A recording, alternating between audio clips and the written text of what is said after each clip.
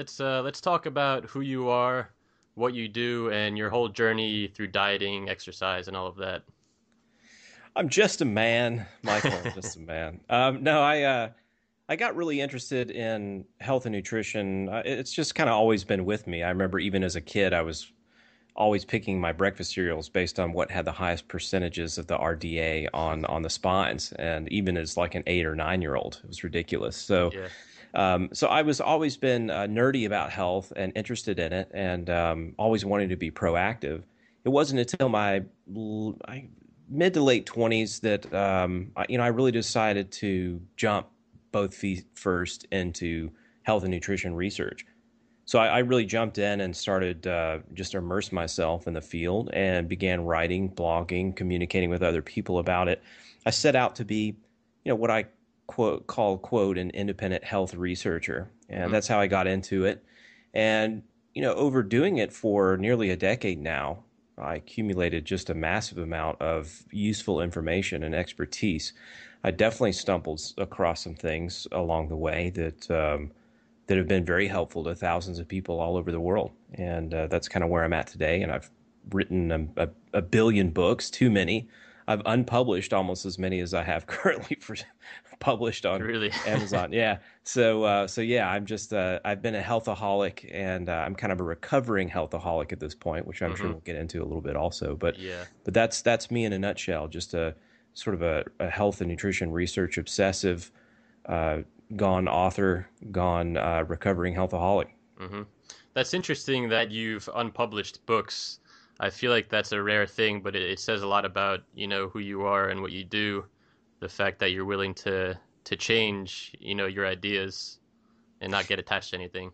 That's one thing that's made me unique. I mean, everybody who's followed me knows and has known and recognized instantly from the beginning that I was really looking for answers. I was trying to do my very best to genuinely just genuinely find the truth and i was willing to explore all different kinds of ideas and avenues to get there and you know of course early on i had ideas. I thought they were correct. I found research that supported it. And then you know later on i found stuff that contradicted it. And then i started thinking differently. And then i realized that my earlier ways of thinking were more primitive and flawed. Mm-hmm. and so i often changed directions and pivoted and pulled a 180, so to speak, which I've been, had many people all the time go, you should call it, you should change the name to 360 degree health because you're always, you know, you flip the back the other way now. Yeah. So anyway, I've gotten a lot of grief, but yes, of course, uh, along the way, I'm willing to completely throw out my prior beliefs if I come across a point of view that is superior and more um, evolved in its understanding, and and that's the process that I've gone through. It's been a process of personal development, and in that process, you know, I've I've become uh, my information that I disseminate has become more and more valuable because I have grown past those early stages of thinking naively and and thinking you know, really primitively about what we should eat and drink and nutrition in general. And, uh, you know, I don't know, we'll, we'll discuss all that, I'm sure. And, and people will kind of understand, hopefully, what I mean by that. But. Yeah, yeah. So let's, uh, before we get into, I guess, where you at, where you're at now with health, let's talk about your whole journey and the struggles that you've went through and sort of some lessons that you learned from that. Well, I see so many people repeat through the same series of uh, the same sequence that yeah, I exactly. did. So yeah, so hopefully people can actually learn from that and not make those same mistakes, right? exactly, and uh, that's what I hope everyone gets out of listening to this conversation. Now, yeah. the first thing, like I said, I became just interested in being proactive about my health. I mm-hmm. think that's a good thing. I think there's a lot of people out there that that take a look around and they know that something is awry. There's a lot of unhealthy people. There's a lot of grossly overweight people. It something about it really seems unhealthy, and we know that there's something about our modern diet yeah. and lifestyle that is not ideal. Mm-hmm. And um, you know, at first, we kind of buy into the everyday logic that people are just eating too much and, and not getting enough exercise, and that's why they don't feel well and they suffer. And um, you know, that's kind of how I thought originally and uh, you know people who were fat were just a bunch of lazy bums and and so I started off in my teens just trying to do more exercise and charting my progress and writing down how many push-ups I did and sit-ups I did and all these kinds of things mm-hmm. into a, a calendar and keeping track of all that. I also started becoming proactive about my food intake. So obviously nobody could ever possibly be, you know, lean and ripped enough. And so I was always constantly perpetually trying to eat as little as I could stand. And that was one of the first big mistakes that I made. And the consequences of that were basically that I was always eating trying to eat a perfect Spartan health food diet or trying to not really eat much at all.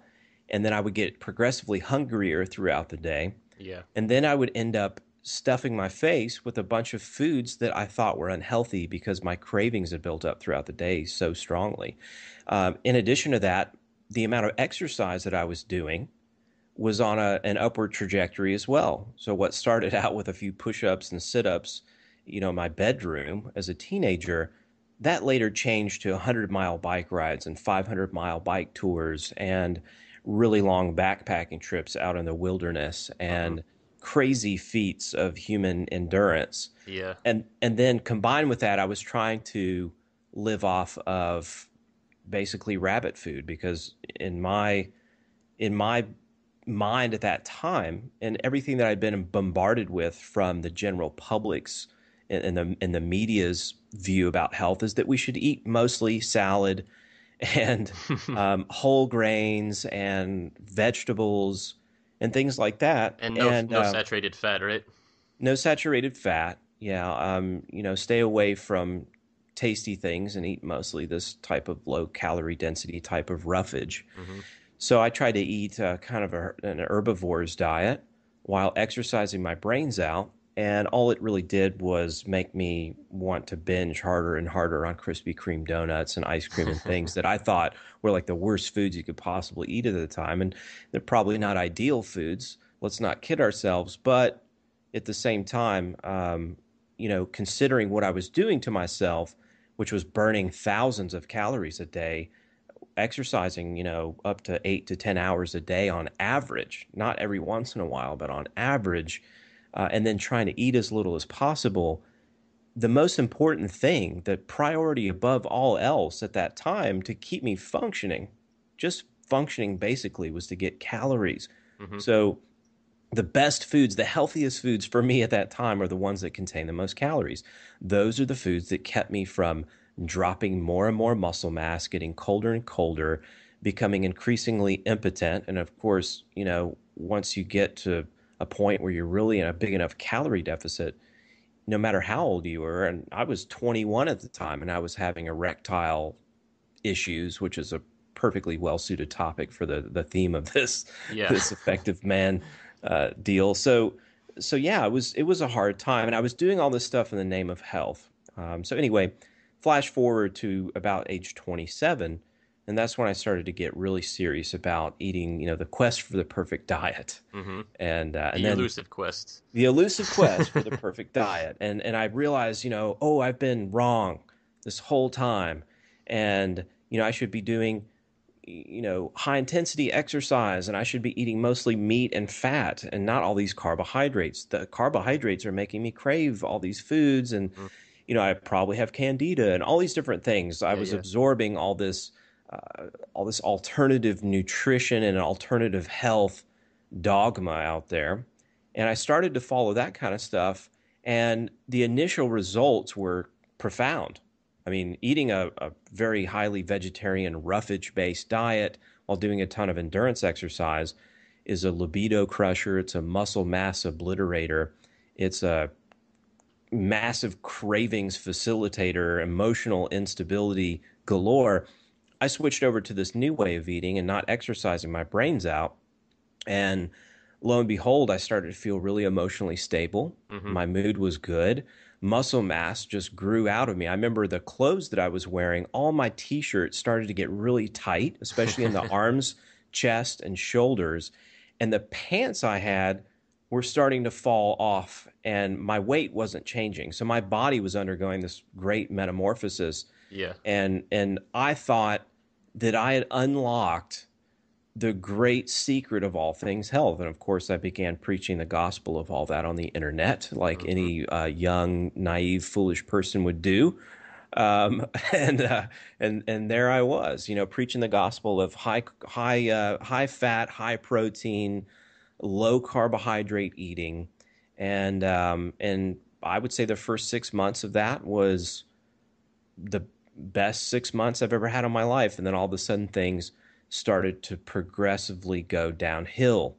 And I was just absolutely enamored and infatuated with how great I had felt in the first six months mm-hmm. that I was stubborn about switching and doing something different. Not only had I invested my, you know, everything in in basically preaching the gospel of this on the internet and writing books and building up a business about this, um, you know, but I was just so enamored with this amazing way that I had felt for six months. I kept just wanting to get back there. And I kept restricting more and more. I got to the point where I was um, eating no carbohydrates at all. That was a mess. And, uh, and then I started doing, um, you know, other things. I did a 30 day milk fast for a while. I mm-hmm. did lots of uh, fasting at various periods uh, along the way where I would eat nothing, you know, have nothing but fruit juice for a week and other crazy things. Yeah. and um, I was just seeking that elusive, good, healthy feeling, and it, it, just kept slipping farther and farther away. And eventually, I had to just kind of say screw it. And then I went through the the screw it phase, which is all this, you know, health food stuff is a bunch of nonsense, and I should just you know, forget all this and go back to eating what I was eating as a teenager when I felt great. And when I did that, I felt amazing. I felt a lot better. All the health problems I had accumulated from being a healthaholic uh, went away. Mm-hmm. And uh, I kind of went, uh, you know, and became a junk fooditarian for a while. And, you know, and then of course I ran into consequences from doing that. And, you know, now the, the final phase is sort of getting back into balance and eating a healthy diet, but not in a fanatical, naive, you know, be- belief that that I'm going to find this perfect diet and become a superhuman kind of way, but just basic self care and also still being functional socially, being able to eat normal food with friends and family, and not be a weirdo, but at the same time, still make sure I'm eating nutritious food, exercising every day, moving my body around, keeping it functional and mobile, et cetera, et cetera. And that's that's kind of the process that I went through, and I see so many people going through that process step by step, and and that's kind of I've become sort of the the the guy that you go to. I'm the safe haven for recovering healthaholics and dieters and and people that suffer really harsh eating disorders and, and all that. Yeah. So, could would you say there are, if you could, you know, make some some bullet points here, were there any major lessons that you learned that you think would be useful useful for people to know? Well, the big one is that, you know, first of all, if you have an idea, um, and you get really excited about it, you find some confirming evidence that that your theory might be right, you know, it's probably not right. Mm-hmm. And it's because it's health, nutrition, physical function, the human body. It's not simple, and it's not static. It's always in motion. It's always a moving target. Our needs, physical, our physiological needs are changing from minute to minute, hour to hour, day to day. Um, if you just put, let's say, a little bit of salt, if you eat one bite of something salty, mm-hmm. your body will start to crave water because your body needs to dilute that salt to keep a steady concentration of water to sodium in every cell of your body and in all your 18 liters or whatever of interstitial fluid, your blood. So the body's always doing that. So the, the big lesson to me is that our bodies come hardwired with information and voluntary or involuntary mechanisms throughout our bodies and all of our systems that are designed to keep us healthy, alive, well, functioning, not sick. Um, and those things work really well. They work for all organisms. We're the only species intelligent enough to actually be able to fill up a bottle of water and see how many ounces or milliliters are in that bottle and how much fluid we're consuming. Yet, every creature on earth, wild, domestic, and, and otherwise, are able to keep themselves from dying of starvation, of dehydration. They're able to breathe in and out and get all the oxygen that they need and maintain the right proportions of carbon dioxide and oxygen.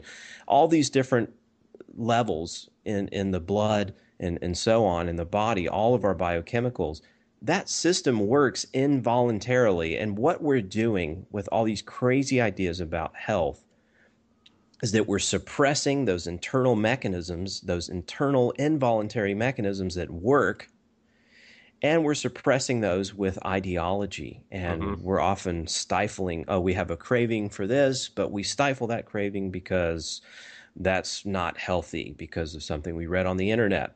Uh, we're not thirsty. We're peeing frequently. Hey, it doesn't matter. We know we're supposed to drink X number of ounces of, of water per day because that's what my doctor said or that's what I read on some health website. We're not doing things based on our internal involuntary mechanisms. We're suppressing all that intelligence and we're trying to micromanage this with ideas that are generated inside of our skulls. And it's a disaster. And I'm not saying that we can just eat and do whatever we want and be perfectly healthy, but it's the outcome of doing that and not even thinking about it is usually better than becoming obsessed with it. And it's certainly a lot easier and more fun and will keep you feeling healthier and happier just to try to follow those involuntary cues to eat when you're hungry, drink when you're thirsty, bay some of your cravings, exercise when you feel like exercising, quit exercising when you feel exhausted, not push yourself through it. Have a rest day when you don't feel motivated. You know, if we if we obey all these different cues, we get you know aligned with our physiological needs and we function a lot better. And and to me, that's the great gem of wisdom that I've come up with is that there is no perfect pristine diet or system out there that you can just apply to yourself and expect it to work, you already have everything you need that you need hardwired, and it's really just a matter of of you know having good enough habits to make sure that you're providing quality food to yourself and not just eating out of convenience. Um, and making sure that you don't just stare at the computer screen all day, mm-hmm. that you do obey your phys- physiological cues to get up and move around and stretch out and go for a walk and be outside. Do all the things that we know make us feel better, but we don't often do. So I, I don't know. I'm going off on too big of a tangent, but no, no, that's that, that's that's all great. Um, so I mean, basically, what it comes down to is, you know, really listening to the body, right, and sort of letting the body self-regulate, and not being neurotic, not forcing the body to to follow these these ideas that we create, and you know, all of this, this information that's out there. Absolutely, and and even if you are going to go out and follow some kind of new dietary experiment, you still really can't listen to an outside authority. You have to be paying attention to how your body is responding. You have to understand what proper function is, mm-hmm. and you have to make assessments as to how your basic functions are being affected by whatever dietary or lifestyle experiments that you're you're subjecting yourself to. But it's certainly a matter of self experimentation and evaluation to see how you respond to certain things. And, and between those two things, between proper self evaluation and relying on instinct to guide you, a combination of two, those two things are going to outperform any kind of miracle diet or product or system or boot camp or cleanse or any of that kind of stuff that's out there for commercial sale. Yeah. So so you you talk about function and what, you know, functional health is, what what health actually is. To tell us a little bit about that. Talk about that. Well, I've come up with sort of a, a, a report card, I call it. I don't mm-hmm. know why I use that because I was a terrible student. And the report card was, you know, gave me bouts of anxiety every time I heard it. Um, thinking about you know how I could forge my parents' signature and keep yeah. it out of their hands, and I, using lots of whiteout. You know what? That, that's kind of anxiety that I feel over hearing report card. But I, I created the report card, and the report card is just really looking at basic functionality because if you're functioning properly in all your major physiological uh, realms mm-hmm. and all your systems, your basic systems are working correctly, then odds are everything else is working as well as it's capable of working too. So basic systems, one is you're basically your your thermoregulatory system. So your your body temperature needs to be 98.6 degrees or 37 degrees Celsius.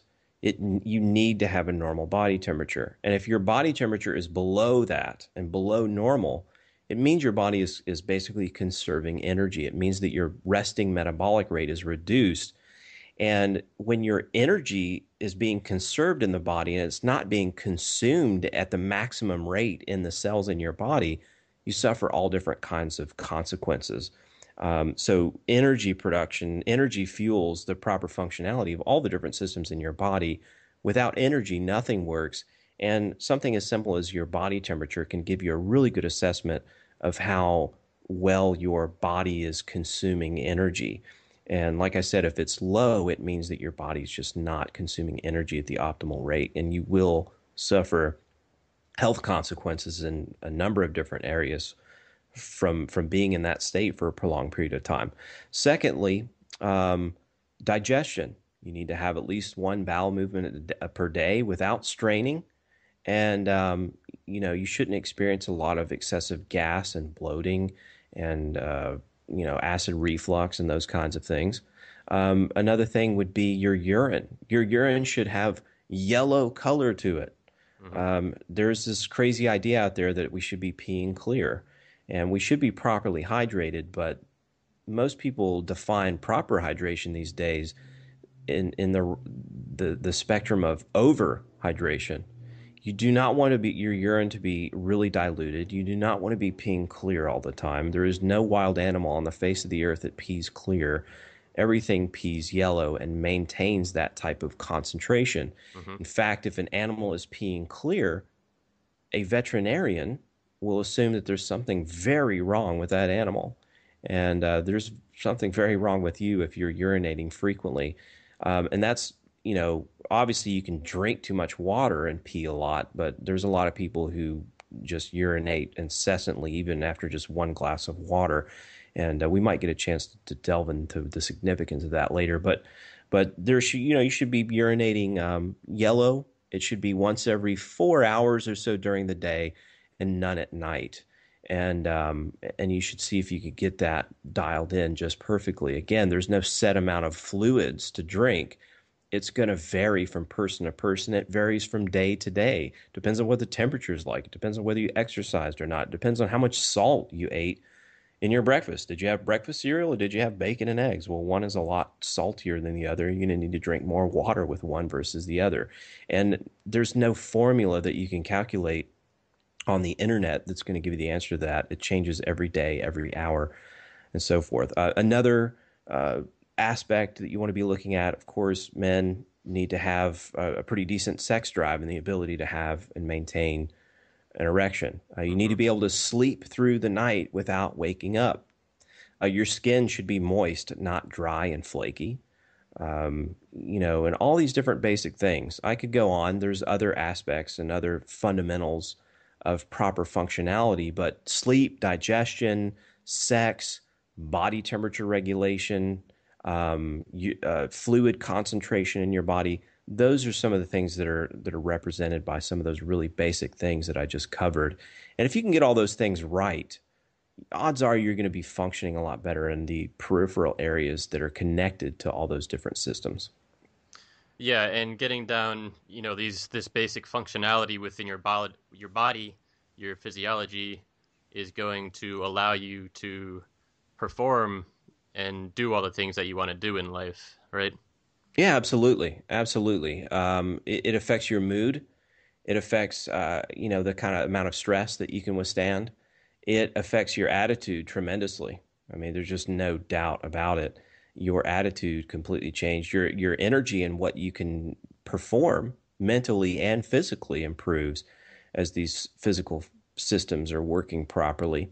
And um, and also, it's you know, life is not a sprint and a lot of people are, are burning themselves out as well because they're not paying attention to how their bodies are working. They're not making their proper assessments. And they're they're spiraling downhill physically. They're starting to experience anxiety. Their hands and feet are getting cold. Their body temperature is dropping.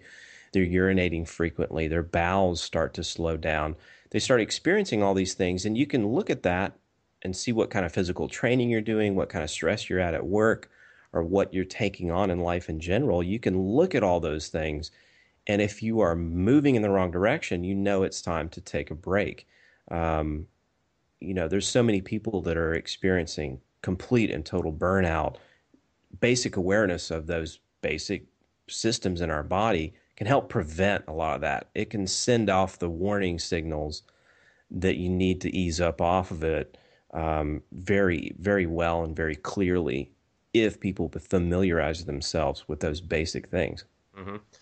Okay, so we've laid out you know what basic functionality is and these sort of metrics that people can pay attention to to uh, to listen to their bodies and you know make sure they're they're healthy.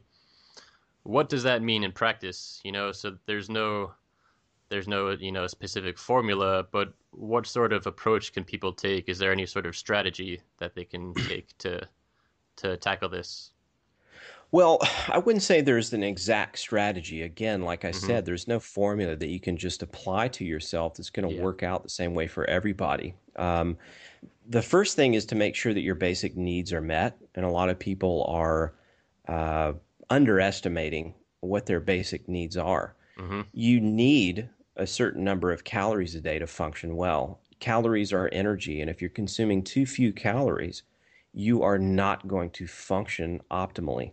There's no other way around it. It's mm-hmm. impossible to underconsume energy and function optimally. Can't happen. So, you know, we need to consistently eat the adequate quantity of calories. For most men, that's going to be, especially young men under age 30, you know, you're looking at at least 3,000 calories for most normal sized men. I would look at um, your body weight if you were lean enough to have visible abs. For those that don't have visible abs, which is most of us, you can estimate what that, that lean weight might be and multiply that by 20. Mm-hmm. And, and that's pounds, by the way. Yeah. Uh, so if you're 150 pounds, you multiply that by 20, you're going to need 3,000 calories a day. Okay. Um, as a minimum, if you're 200 pounds, that could be 4,000 if you start exercising and doing a lot of physical activity, that can go up astronomically from there. Those are minimums just to function properly. Now, once you hit 30, you start to experience some of those inevitable declines in metabolic rate. Mm-hmm. Um, and I've, you know, those can be slowed down, those can be delayed if you look at it honestly and look at the science objectively yes, there are things that you can do to accelerate aging or decelerate aging, but for the most part, you know, there's really not a whole lot you can do about that decline other than slow it down a tiny bit or speed it up a tiny bit by doing the wrong thing. Yeah. Um, so you're going to start experiencing a decline in metabolic rate after the age of 30. And that calorie estimate starts to slowly decrease at about, I would say, 1% per year after age 30. And so your food, your basic energy needs in terms of dietary calories starts to slowly decrease at that time. And you can make adjustment for that if you're over age 30 and listening to that. But that's that's basics.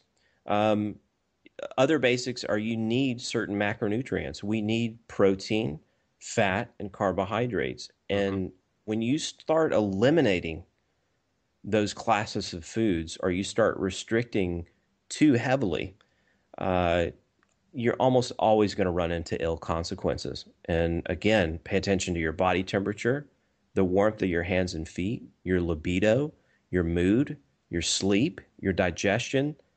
If you do something that is wrong, if you make a mistake there and you restrict overly hard in one area, you will immediately start to recognize a worsening in those areas.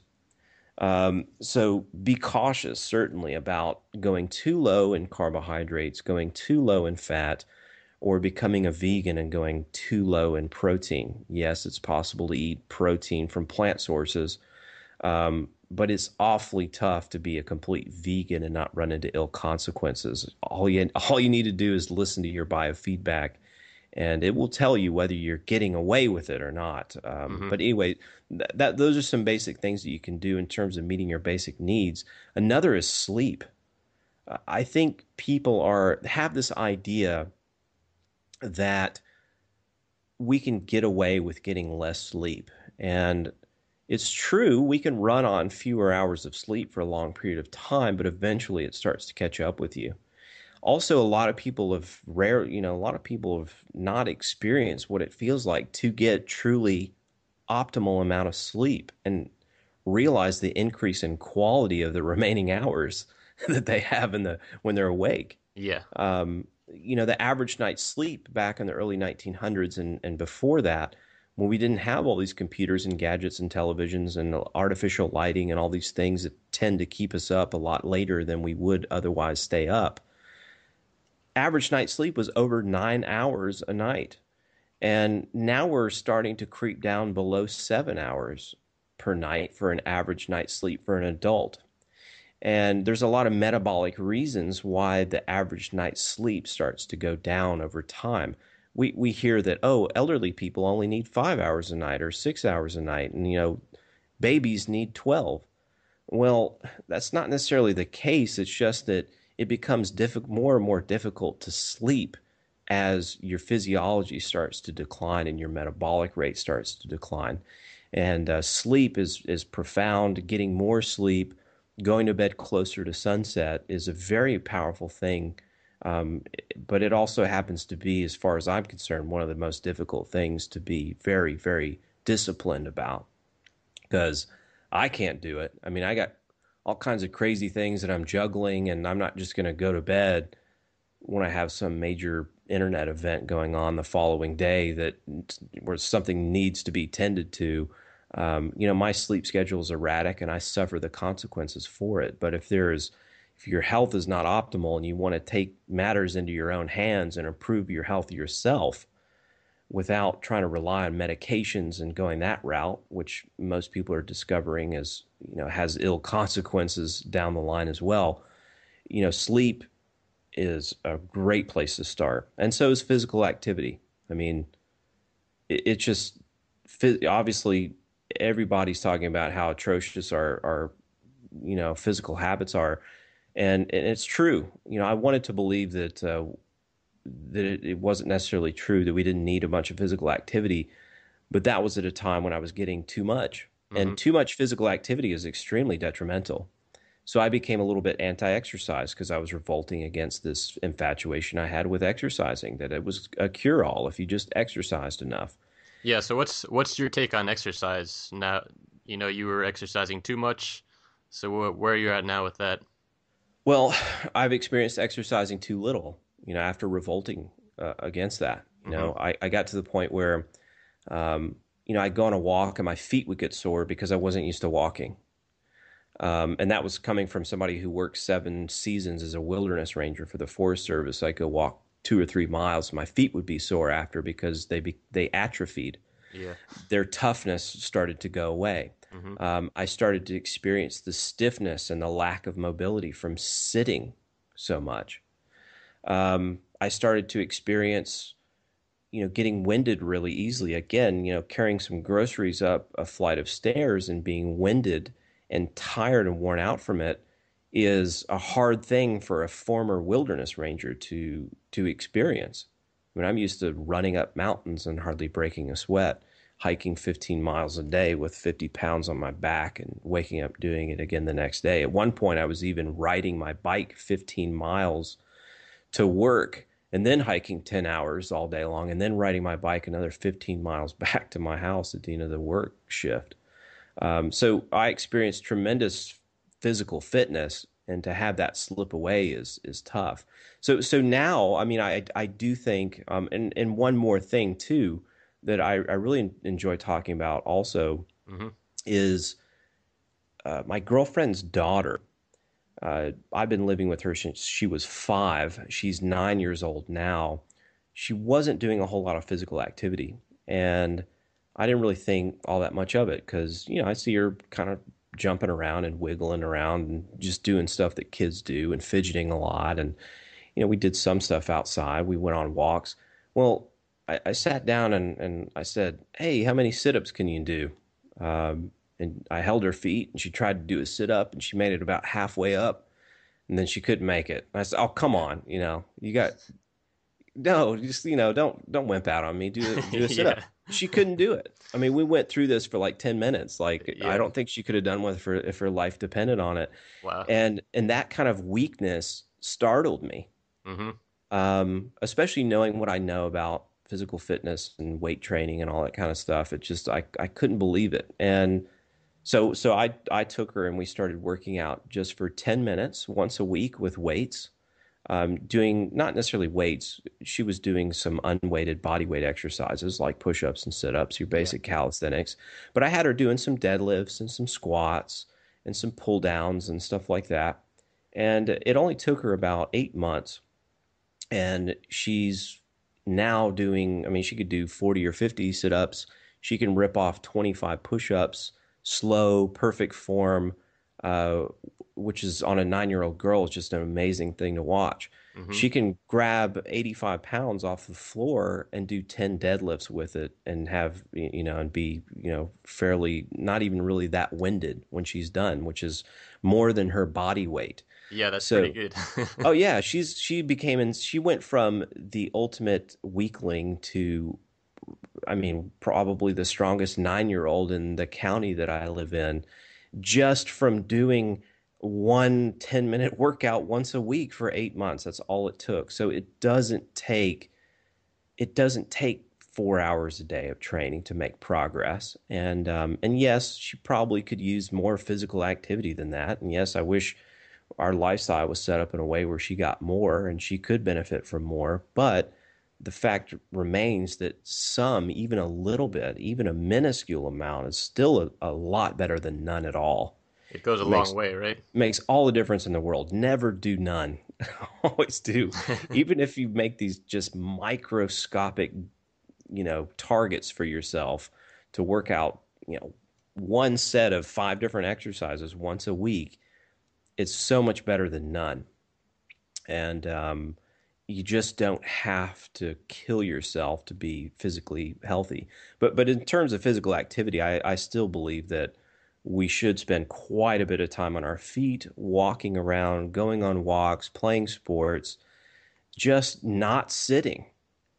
Uh, it doesn't have to be working out. It should be purely for leisure and, and mm-hmm. pleasure but we have to find a way to work in physical just basic physicality into our daily routine somehow i do think that's a huge problem with modern life is that modern life just doesn't require us to do much of anything physically and we suffer for it. So doing some weight training and doing a variety of recreational activities and making sure that you stay in good physiological condition in terms of your fitness and strength if you can do that and sleep well and eat well, um, then you're going to be so much better off than the vast majority of the general public. I always say the ultimate formula recipe for optimal, you know, the best physical function that you as an individual are capable of achieving comes from that formula of basically eat hard, sleep hard,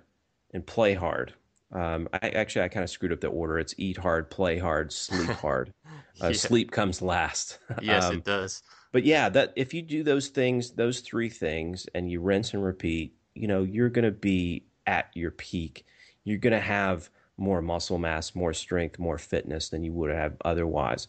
Your sex drive is going to work better. Your mood's going to be better. You're going to have a lot more energy and drive to do things in your career and um, you know there's going to be many benefits that sort of creep into all the other areas of your life which i know is real central to your belief system michael is to you know to be to be well rounded to pay attention to all the different aspects of life and uh, good physical health with those three things eat well eat hard play hard sleep hard if you can get those three things going for you it's a fantastic foundation yeah and and they're synergistic too right and they they sort of feed off each other. If if you're not eating properly, you're not going to be able to sleep well, and you're not going to be able to you know exercise and move properly, and and that goes for all three of them. Absolutely. If you're not eating well, you're not gonna your you know your physical capabilities are going to suffer. And if you don't eat well, your metabolism's going to drop and you're going to have a hell of a hard time sleeping. So, yeah, all those things work very synergistically together. You can't do two out of three. It's got to be all three, the trinity of awesomeness there. So let's give a quick recap here. We have, you know, you want to listen to your body. Give us those, uh, those that functionality that we want to pay attention to. Run through that real quick. That would be uh, your body temperature. You need to make sure you're 98.6 or 36 degrees Celsius at mm-hmm. rest. Anybody can jump up and down a trampoline for 15 minutes and get their body temperature up. I'm talking about at rest. Yeah. You should feel warm all the way through the tip of your hands and feet. You should mm-hmm. feel like you can go out on a cold day. Everybody's bundled up and you're in a t shirt. You want to be radiating body heat. Mm-hmm. Okay. So warm is big. You want your bowels to be moving freely. You want to have large, easy to pass bowel movements without straining at least once per day, and probably more like twice. Um, you want to have um, uh, you want to have yellow urine and not be urinating frequently. You want to be able to go long periods of time without going to the bathroom. You don't want to be the obnoxious person on a road trip who needs to stop at every fourth exit to urinate. And um, and and I promise you, when you when you start paying attention to that, you'll start seeing the people who are urinating frequently, who are the annoying person on the road trip. you'll notice those people are cold. Their hands and they're always freezing and all these other things, and they yeah. probably have digestive problems as well. You want to be able to sleep through the night without waking up all the mm-hmm. way through the night, and then you want to have proper sex drive and libido and sexual function and all that. Those mm-hmm. those five those are the five main ones that I think are uh, worthy of the most uh, just acknowledgement and and, and just obser- observation on your part. Yeah, if you get if you get those right, it's going to go a long way towards your overall health. Yeah, basic fundamentals. I know it's boring. It sounds like you know grandma great grandma's wisdom on on being healthy it's not modern and sexy there's not an app for any of these things but but ultimately these boring basic fundamentals they are the foundation and if you prioritize those and you block out all the noise about you know meal timing and meal frequency and food combining and macrobiotics and veganism and paleo and gluten free and all these other things. Not that they don't all have a little bit of fragment of validity because they do, mm-hmm. but ultimately they are distraction from what matters so much more than all that peripheral stuff. All that stuff's just going to distract you and take your attention and draw it away from the fundamentals. Don't do that. Always keep the fundamentals front and center in uh, any of your health practices that you're trying to implement into your life. Yeah, so so we want to pay attention to the to the body and the functionality of the body is is what the message is here. Absolutely, and and make assessments. You know, if you mm-hmm. if you feel curious about trying something, try it out. Don't let me stop you. But if your body's not responding well and you're paying attention to the fundamentals of, of proper function, and you're noticing declines, you better you better you better you better check yourself before you wreck yourself because that's you know you better pivot and go back to what you're doing before. And uh, you know it may hurt your ego a little bit that your crazy idea that you had that you were so excited about was wrong. And believe me i've been through that that kind of uh, experience many many times. Uh, but ultimately your body is going to tell you whether what you're doing is is helping or hurting and I, I think you'll find that most of the health ideas out there that you try to implement are going to have an adverse effect, not a positive effect on those those basic areas that we that we talked about. Yeah, very very good, very good information here. Okay, um, is there is there anything else you have to say about health before we really dig into the the entrepreneurial side of things here? Well, I mean, I could I could say a lot more, but I just I don't really feel compelled to anymore because again just like i said i don't want to talk about you know inflammation and different fatty acids and uh, you know all these different things because we could talk about matters of nutritional minutia all day long. We could talk about amino acid profiles and uh, you know what you should get your protein sources from, what is ideal. We could talk about all that stuff all day long, but ultimately, it's more important to me that people are refocused on the basics, that they don't get wrapped up mm-hmm. in all that uh, all that sort of nutritional lore. Uh, those basics are more important, so I think it's more appropriate to, to just leave it off there. Yeah, one thing I'd like to cover real quick that uh, you didn't really touch upon is the is how stress factors in with dieting, and you know tr- trying to be too precise with your diet and too concerned about everything that you're eating. Talk talk about how stress stress uh, is a factor. Well, you know, stress is a a broad idea. It, yeah. It's obviously when we think about stress, we think about oh, we got deadlines to meet, or you know, there's financial troubles on the horizon, or you know, difficult breakup. We think of that psychological stress, anxiety, worry. That's what we think of when we hear stress. But the true physiological meaning of stress, and that that framework is basically stress is anything that elicits the production of stress hormones in the body. Stress hormones like the glucocorticoids, cortisol, uh, some of our other sort of adrenaline type of class uh, stress hormones that we produce. Mm-hmm. That's anything that can elicit uh, an increased production of those things could be to, could be called a stress. And there's so many different things that that cause that. Um, I think stress gets a little bit of a bad rap sometimes because we need stress. Uh, like I talked about, because I, I haven't been outside physically moving my body around, I go out on a short walk and my feet hurt. Well, why is that? Because I haven't been putting my feet under enough stress. Mm-hmm. And the stress itself, if you recover from it properly, is actually the catalyst to becoming stronger.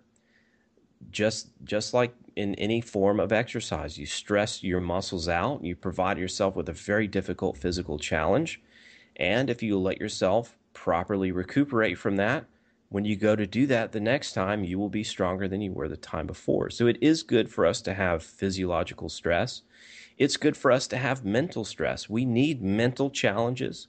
We need emotional challenges. We need those things. They do make us stronger. But so many people are subjecting themselves to more stress than they can recuperate from. Mm-hmm chronic stress, stress that is long lasting, that is hours and hours per day. And we eventually will break down. A lot of people use this uh, kind of lame metaphor for stress, and I've used it too, of just getting a sunburn, right? You know, if you go out and you get a little bit of sun on your skin, your skin gets darker. And next time you go out in the sun, you can stay out longer before you start to get sunburned. That's how your skin gets stronger. It gets adapted to being outside in that environment where the sun is shining. And if you go out there for too long and you go way beyond the threshold of what you're adapted for, you get a severe sunburn and your skin will actually become a lot more sensitive to the sun, not stronger. Mm-hmm. So we always have to think of thresholds.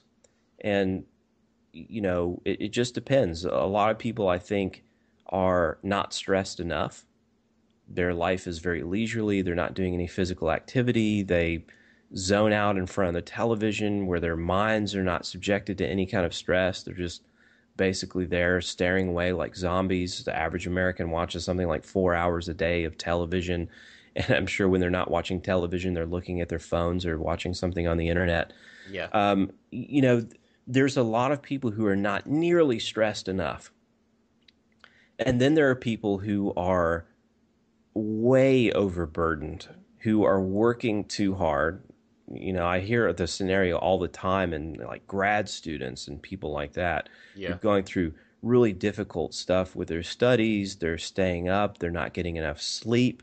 Um, they're living off of energy drinks and you know movie candy, and uh, they're just not they're breaking down and there's nothing there to allow them to rebuild and come back stronger. So as long as you appreciate the fact that for every time you subject yourself to a difficult stress, you need to recuperate and replenish before you go back at it again, then I think that's a recipe for getting progressively stronger over time. Um, the rest of us, you know, need to definitely watch out and make sure that we're not especially people living listening to this i would think are, are people that are really wanting to become great achievers in their lifetime. Yeah. You know you really have to you really have to keep an eye on it. And you know the older you get too the the harder it is to recuperate. You know i can't do as much mental work as i used to. I used to just 14 hours a day you know no problem. Um, i can't do that kind of stuff anymore so you know you just have to make sure that you're you're tuning into that and and the last thing you need is stress over what you're eating and how you're combining your foods and whether you ate too much or you ate too little or I ate that brownie and I said I wasn't going to and then I feel really guilty about it and stressed. I think that's kind of what you were hinting at. Yeah, um, exactly. Um, Creating all of this anxiety about eating where whereas eating should be this nourishing, you know, healthy experience. Absolutely. I mean, you have to incorporate that sort of no drama way of eating. Um, you can't attach all these emotions to, to food choices that you make. And for me, and I'm sorry we didn't get a little bit more time to talk about specifically, but for me, that was a real turning point. Because, mm-hmm. like I said, in my teenage years, I was constantly trying to eat as little as possible and then binging and then feeling really guilty.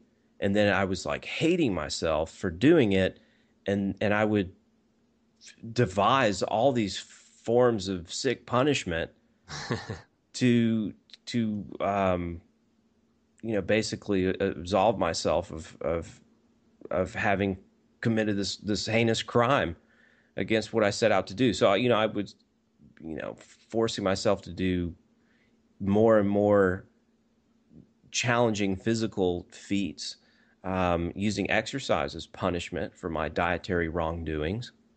And I would, you know, do lots of dietary things as punishment. You know, mm-hmm. if I ate, a, you know, the whole time I was eating the Krispy Kreme donuts, I'd be thinking, okay, I'm not going to eat these again.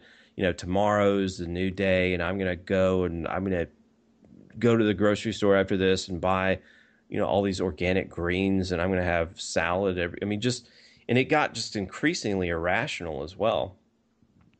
I mean, it just got crazy. I mean, the the kind of demands or the kind of sick, weird ways of eating that I thought that I was going to be able to endure mm-hmm. um, just got more and more extreme, and uh, it was an escalation process. And I finally, thankfully, reached a point point where um, I, I couldn't escalate anymore, and I had to figure out another way. And that other way was basically to just be at peace with myself in my eating. If I was hungry, if I had a craving for Krispy Kremes, I would eat Krispy Kremes and then I would think back and try to figure out what made me so ravenously hungry or what made me stressed out and compelled to go eat something like that. Mm-hmm. And usually it was because I didn't sleep enough or I exercised too hard or you know have something something happened. There was always a reason for it. And i realized that my body was being intelligent. It was trying to save itself. It was trying to shut down my stress hormones by compelling me to eat foods like that. Because foods like that you know they they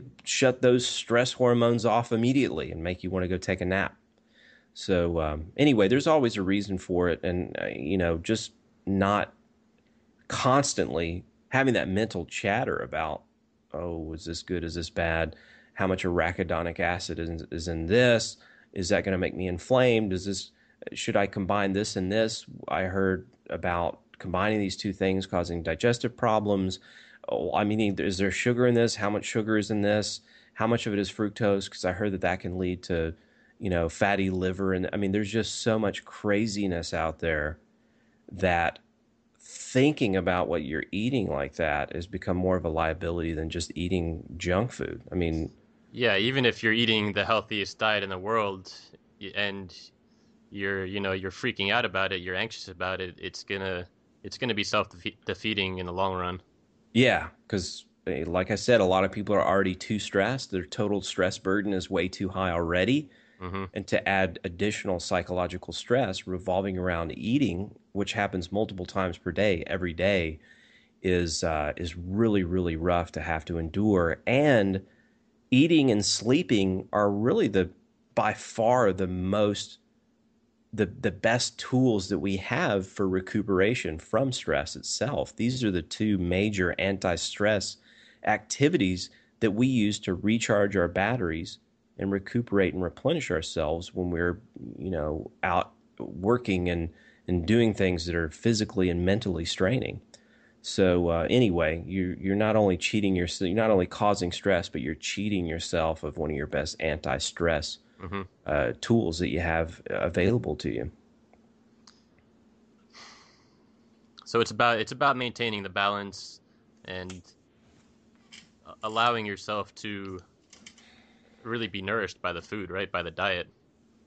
Yeah, I mean, nourished is good. Uh, one of the first things I set out to do was just try to eat as take in as many nutrients as I possibly could. So I would just try to eat as much nutritious food as I could possibly stuff in me every day, which for me, having tried to eat as little food as possible for so long, a decade, that was an incredible shift of focus to go from eating as little as possible to as much as possible. It was made a huge difference and I actually got leaner doing that almost instantly because um, that's just kind of what happens when you're really bombarding yourself with a lot of nourishment and doing it consistently. Um, it's great for your metabolism. Your metabolism rises from eating well and eating enough and not going long periods of time without food, not getting ravenously hungry. Mm-hmm. Things start working better. Your body starts starts burning energy and consuming energy at the optimal rate, and then everything starts functioning better. And that's um, that's kind of what I'm what I'm getting at. Yeah. So let's while you know we're going in that direction, let's talk.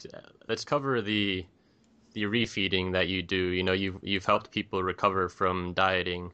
What what what do you have people do with that? Well, like I said, it's it's proper to get adequate calories, and if your metabolism is low and you've been under eating for a long period of time, and you've actually seen that your body temperature is low, you're freezing cold all the time, maybe your bowels aren't working, you're failing, and all those you're you're bringing home a bad report card. Yeah. um, sometimes it takes a prolonged um, refeeding process. I call it rest and refeeding because mm-hmm. you know I am a big advocate of getting proper sleep as well with it. And the idea is basically just to eat and sleep as much as possible until your metabolism is completely recuperated. And it's a difficult process because most people gain fat during that process. Um, but during that process, everything starts functioning optimally underneath. The libido comes back, the digestion starts functioning properly again, the teeth get hard and strong and white, the skin becomes moist, you know your hair and nails start growing faster. All these peripheral signs and symptoms and that that you're functioning better take place as you start to go through this rest and refeeding process.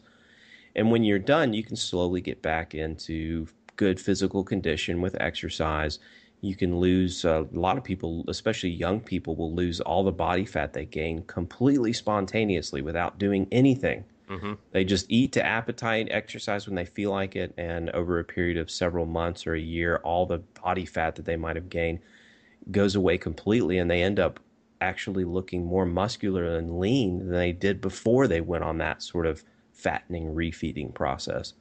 So anyway, that's that's a little bit uh, about that. But that's uh, you know if you're if you're listening to this right now, and you hear me talking about cold hands and feet, urinating frequently, your digestion moving slow, inability to sleep, maybe peeing frequently, a tendency towards feeling anxiety. If you're experiencing all those things and your body temperature is low, uh, there, that is just exactly what you need, and it will be the most powerful medicine that you've ever, ever found to go through that refeeding process. Now, there's a lot of people who don't need it, but think that they do, because they're healthaholics, but there's people mm-hmm. who genuinely need it. And if you can verify that you're underperforming in all those areas, then you know I got I got just what you need um, with my information on how to go through that refeeding process successfully and and how to do that. Yeah, and that that's actually what I'm going through right now. Um, so let's we're coming up on an hour here. Um, and we were, you know, the conversation has kind of gotten to the point of once you recover and you become healthy, then, you know, what do you do with your life? You know, you've reached this point where, you know, our conversation yesterday, you were talking about how you don't even like really talking about health anymore. Well, it's true. Like I said, I, I, like. I think the fundamentals are important, but you know, at this point, I've gone through that healthaholism phase. I am a recovering healthaholic. Yeah.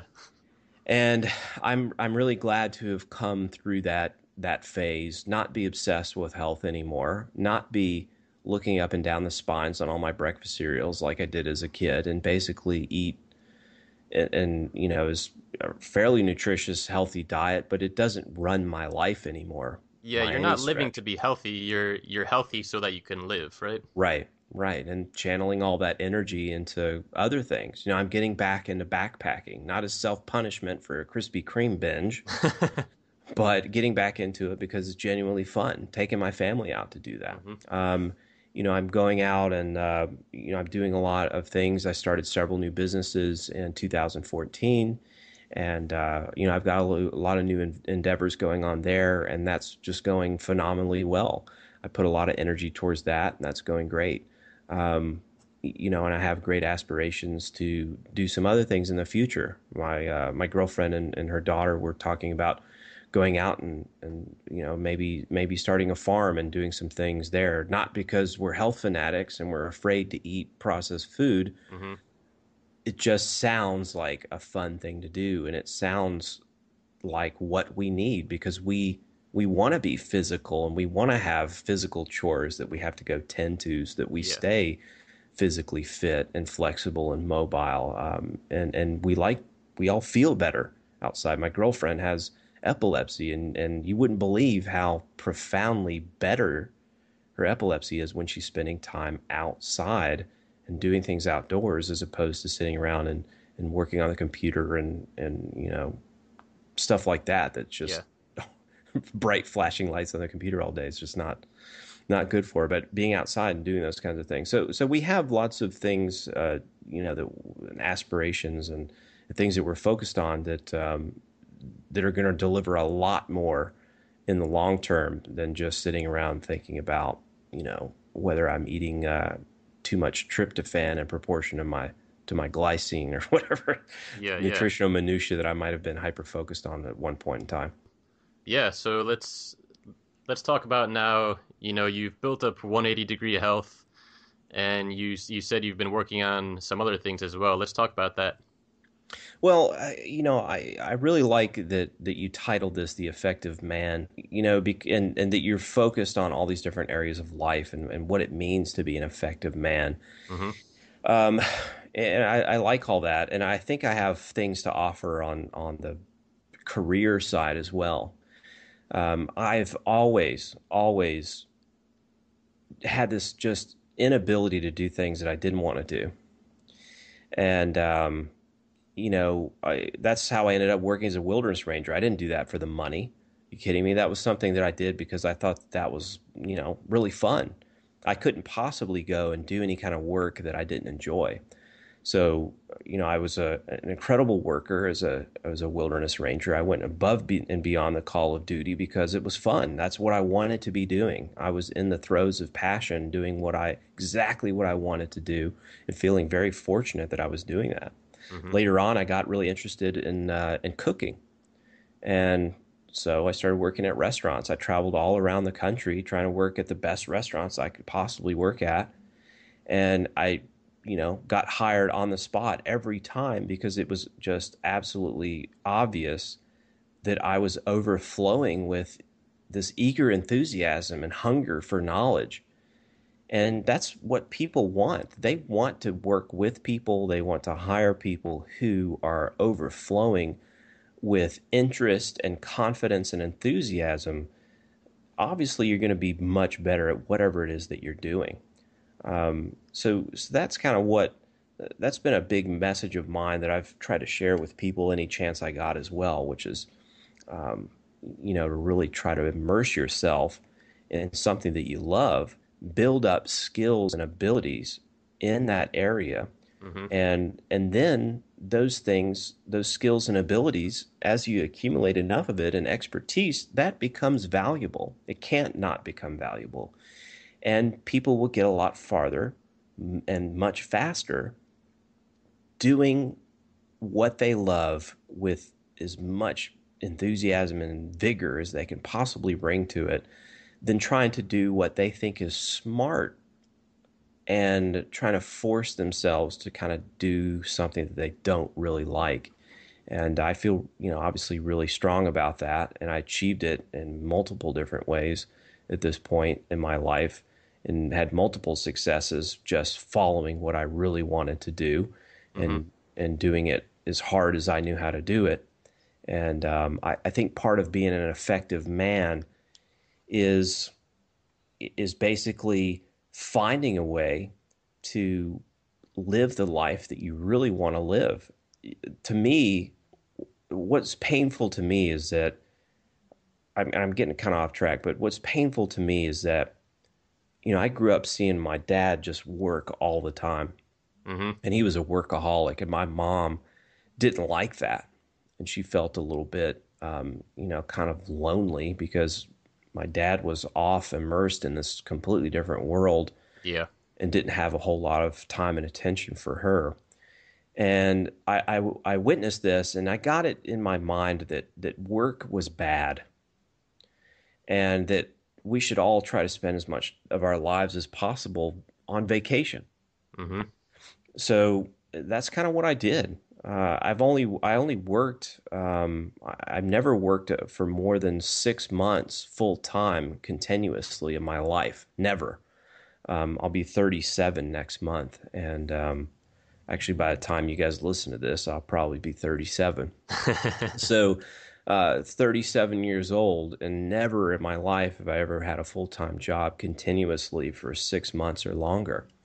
Um, and the reason is because my ideology was that we should be recreating. I used every penny that I saved up to go on adventures, to go travel around the world, to go, you know, backpacking in the, the wilderness for a couple of months and just do things to, that to me were fun, adventurous things. Um, and, and I got sick of doing that. And um, I really got worn out and tired of repeating that again and again because ultimately we I, I, think to be an effective man and to feel genuine fulfillment we have to make some kind of progress and we have to be able to you know be able to contribute somehow. I think it's essential. And um, and to be able to cultivate skills and abilities that other people that you can help other people with um, I think it's essential. You can't just recreate your life away and expect to feel satisfaction from that.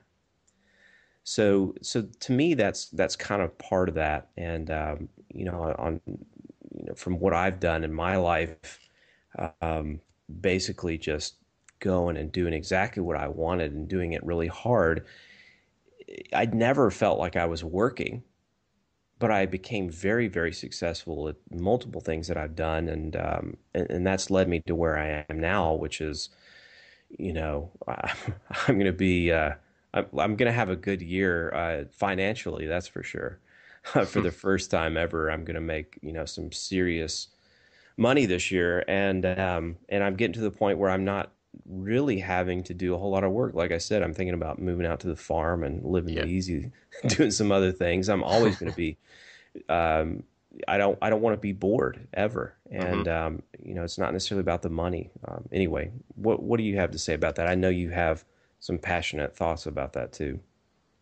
Well, I mean, what I'd like to hear is, you know, you've you've been successful in building up this, you know, this empire of yours, uh, the Matt Stone Empire. Um, I'm sure you have some some tips for pe- for people that uh, you know they could learn from your mistakes and what was effective for you in that whole process. Well, if we're just talking about, um, let's say, you know, your own business, mm-hmm. um, you know, first of all, I, I do feel like it's just so easy. Of course, from my perspective, I look and I see people who are not doing something entrepreneurial and I just think that they must be insane because it, to me, to me, it's so easy to do it. It's so much easier to do that. Yeah. Like I said, I was never very good in school. I got okay grades. I'm not, you know, I'm not stupid, but I just, I just wasn't passionate about it. I didn't go very far with it. Competing against other people head to head in academics, um, trying to get some job and outcompete 30 other people with the, you know, with my resume in the corporate world. That never would have happened. Um, it just wasn't my forte, but going the entrepreneurial route, um, wow, it's easy. Now, I didn't know it was easy because nobody knows how easy it is until they've done it. Yeah. At first, it seems daunting. It seems very difficult. It seems nebulous. It seems like a fantasy. And yeah. um, so I started out, like I said, reading and writing and researching. And I, I, blogged for a while and just put my stuff online, waiting for the world to discover what a genius I am. And um, I, I, I got a few followers that found me, and I wrote a book and sold it to them. And you know, I thought you know I was doing okay, but I was uh, I was on year three of doing it, and I only made about four thousand dollars in year three of being a health researcher and writer.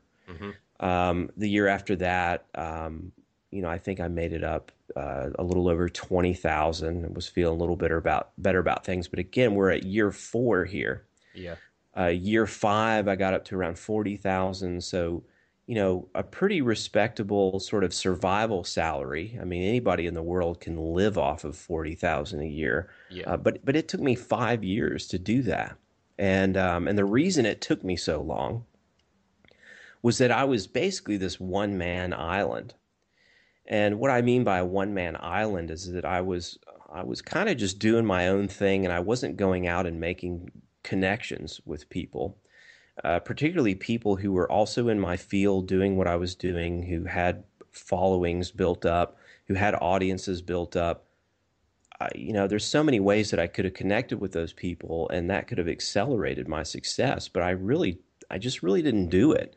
I kind of just played the one man island thing and wrote my thoughts out and wrote some books and sold it to that small following of people that I had.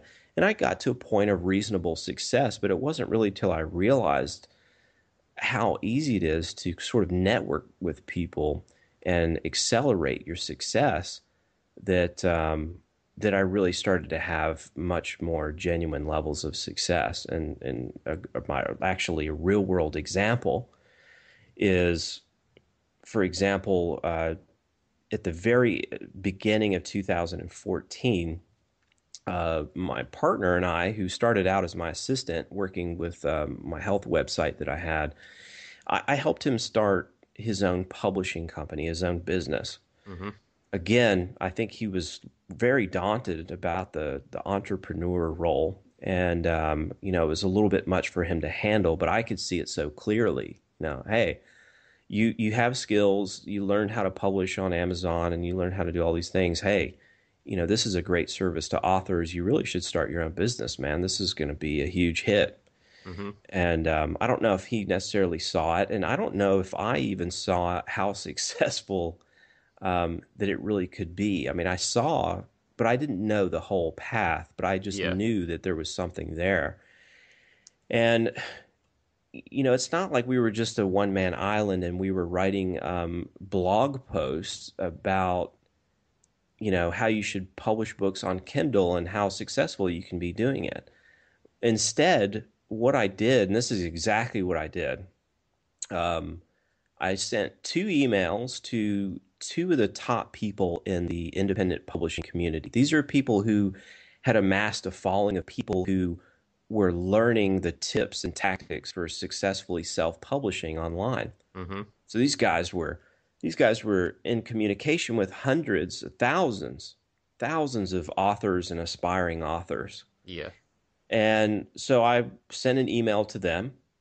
And one of the things that we were doing that, that they hadn't been doing is making audiobooks. So we did uh, some uh, free audiobook for one of them.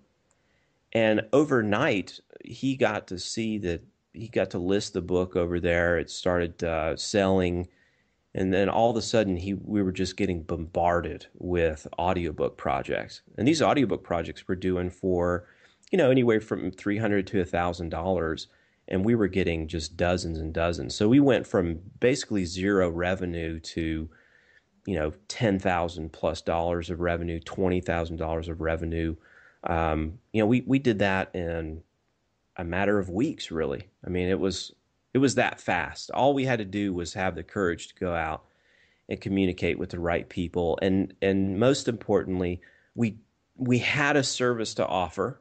Mm-hmm. We were doing something cool to help people with the with the skills and knowledge that that Rob had developed.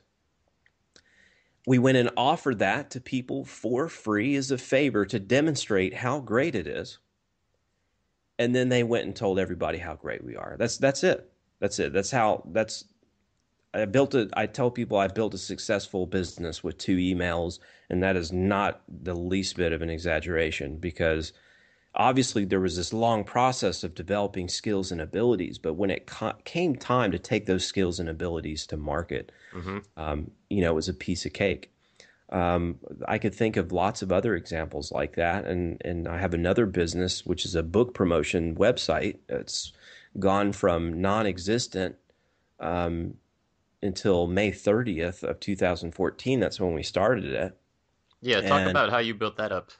Yeah, it's called Buck Books, and uh, it's already the second largest book promotion website in the world. And um, you know, we're still a ways from number one, but we certainly got our sights set on it. And I don't think it's going to take much more than a year or year and a half to get there. But um, again, we just started um, i started networking with people and getting people to drive traffic over to one site and what it was doing was helping them sell their books so i was offering a service to them. I didn't charge them anything for it and the result is that they sold more books. Mm-hmm. and in in doing so and getting them all to congregate in the same place and drive traffic all to the same spot i was able to get a bunch of email subscribers. And uh, those email subscribers in turn we were offering uh, we're offering discount books to so so the general public loves it because they're getting all these great books that normally are ten dollars for ninety nine cents. Yeah, and the authors love it because they're they sell all these books, and with the way Amazon works, the algorithm goes is is set in a way that um, you get you're ranked based based on the number of downloads. It doesn't matter what price it is. Mm-hmm. So if you sell ten books at ninety nine cents, and some other guy sells one book at nine ninety nine, you guys brought in the same amount of revenue, but the ninety nine cent book is blowing up all the bestseller lists. Yeah. And so what happens is we they get an improvement and uh, in their ranking, and then they set their price back to nine ninety nine, and they get more nine ninety nine purchases for three to five weeks typically after the promotion has ended. Mm-hmm. So, so we're helping them make a lot more money. We're not charging them anything for it. Uh, readers get to get all these great books for cheap, and uh, you know, basically pr- put a good service out there.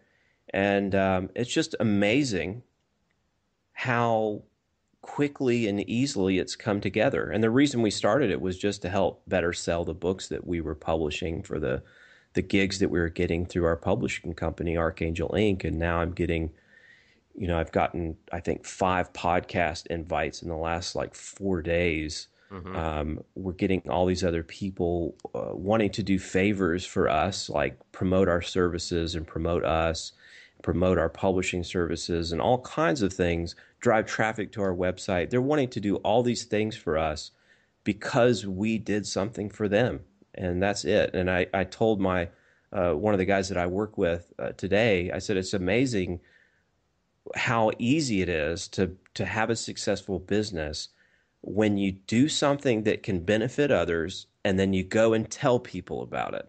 That's mm-hmm. it. That's that's how we build a successful business. Do something that is uh, beneficial to others, and go tell them about it. That's it that's the formula for a successful business. And um, you know, I think we're probably going to be um, in the the one to two million dollar range in terms of revenue this year with a business that we started for two hundred dollars. It's very impressive. yeah, yeah. It's and it's and it's only going to take. You know, this is going to be that we're talking about months twelve through twenty four of our our business here, and um, and it, it's just really a lot of fun. It's it's really it's really easy and um, the time to start building those skills and expertise and knowledge and and just whatever unique thing that you're interested in um, is now. I mean, spend your free time not just watching whatever came in on Netflix, but spend your free time really in grow. You know, just immersing yourself in your area of interest. whatever that might be. It could be playing guitar, it could be um, all kinds of different things. I have a friend of mine who's really passionate about grass. I mean, mm-hmm. people often have the most peculiar interests that they just, for some reason, have been interested in all their lives. I have one guy who's just obsessed with embalming bodies, who's a friend of mine. Mm-hmm. He's known since he was like 10 years old that that's what he was going to do with his life. Um, so everybody's got those unique interests and passions. And if you go and actually apply yourself towards that, um, you'll just find that you thrive. And um, as soon as you start making progress, too, even long before you ever make your first dollar uh, from the skills and knowledge you develop, you'll already be much happier because you'll see the progress that you're making. You'll feel progress. And to me, progress is the key to feeling satisfied, knowing that you're moving forward and moving in the right direction. That gives you that optimism you need, that gives you the energy to do what you need to do today mm-hmm. to get there. And uh, sort of solves a lot of, of issues. And for me, the biggest is that it keeps me from dwelling on stuff that I'm not really that interested in. You know, I don't, I'm not, I'm not, you know, talking with people and having conversations about movies and, um, you know, what's going on in the news. Like, I'm just not distracted by any of that stuff. I'm not sharing, you know, personal drama about my relationships and things like that with other people. I just don't have time to care about that because mm-hmm. I, I, I have this that is filled all that space, and um, I'm just not. The petty things in life just completely faded into the background, like background noise. Once I, once I found and latched on to and started applying myself towards something and, and started feeling that progress taking place. So progress is very important to you, Matt. Do you have any sort of strategy for maintaining progress? Um, well, the biggest thing is just to keep keep going. Mm-hmm. Um, you know, I had, um, you know, I, I, mentioned how slow it was for me when I started 180 degree health, and you know, my my fourth year, my third year was like I think I said 4,000 earlier, but it was I think it was more like six and then the second year was a little over 20,000. Mm-hmm. My girlfriend at the time was going nuts. I mean, she yeah. was like, "What you're doing is not working. You need to do something else. You need to get a job. You need to blah blah blah." And I'm like, I just grew by like 350% and sales, went up 350% over the last year. Yeah. Um, to me, I was like amazed by the progress, mm-hmm. you know? And I would gotten to the point where I was making almost $2,000 a month. I mean, I was making enough to where I could I could kind of survive. I mean, my my credit card balances were still getting progressively larger, but at a much much slower pace. Yeah, yeah.